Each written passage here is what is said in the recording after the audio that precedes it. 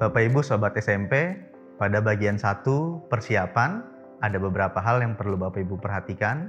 Yang pertama yaitu pendistribusian belangko ijazah, yang kedua penerimaan belangko ijazah, dan yang terakhir adalah pelaporan penerimaan belangko ijazah.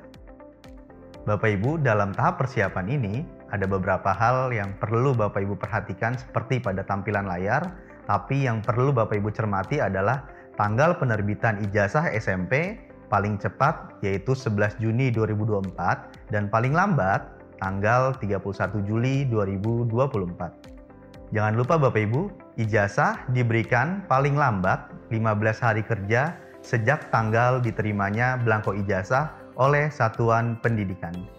Bapak Ibu Sobat SMP, saat pendistribusian belangko ijazah, perlu diperhatikan bahwa pendistribusian belangko ijazah bagi SMP dan SPK dilakukan oleh Direktorat SMP melalui Dinas Kabupaten Kota.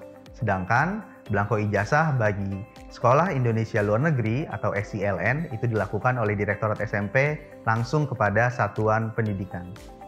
Bagi Bapak Ibu Sobat SMP yang ingin mengetahui progres pencetakan dan pengiriman belangko ijazah SMP tahun 2024, Bapak Ibu bisa memanfaatkan dashboard pemantauan kami. Bapak Ibu bisa langsung kunjungi tautan yang tertera pada tampilan layar, ataupun bisa juga langsung di-scan barcode yang ada pada tampilan layar.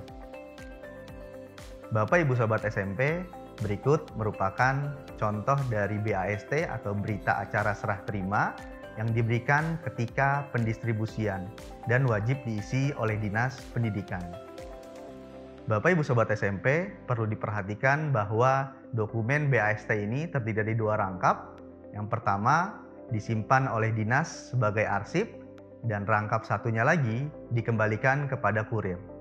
Bapak Ibu Sobat SMP, ketika Bapak Ibu sudah menerima belangko ijazah SMP tahun 2024, jangan lupa untuk mengunjungi tautan yang ada pada tampilan layar, dan lakukan konfirmasi. Caranya klik lakukan konfirmasi, lalu isikan data-data yang tertera pada tabel yang telah disediakan. Jangan lupa, setelah melakukan konfirmasi penerimaan ijazah, Bapak Ibu juga perlu untuk melakukan pelaporan penerimaan ijazah dengan cara menyampaikan berita acara serah terima melalui tombol upload berita acara serah terima.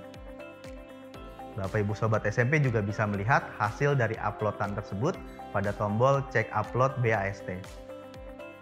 Untuk lebih jelasnya, Bapak Ibu Sobat SMP dapat menyimak pada bagian 4 penatausahaan dan pelaporan Blanko Ijazah tahun 2024.